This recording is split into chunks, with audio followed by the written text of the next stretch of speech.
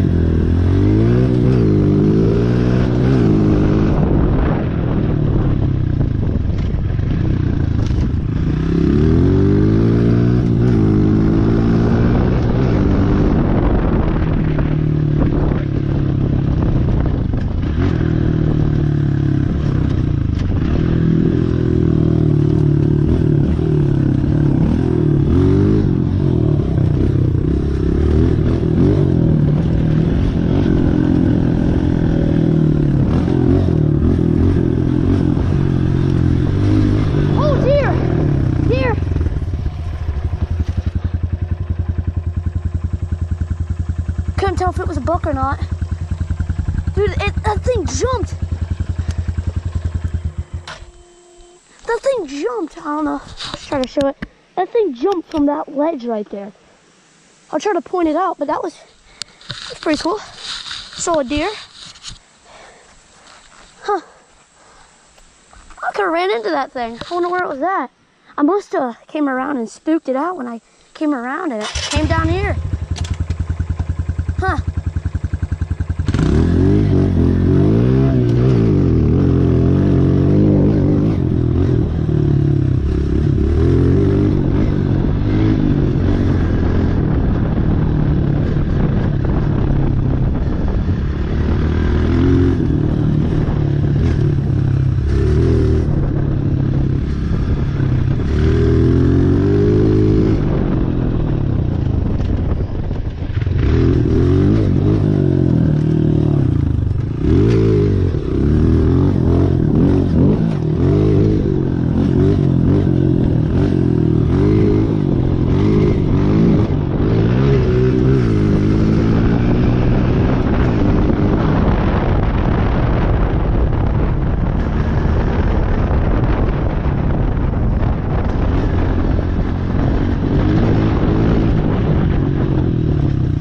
Well, almost ran, got ran over by a deer.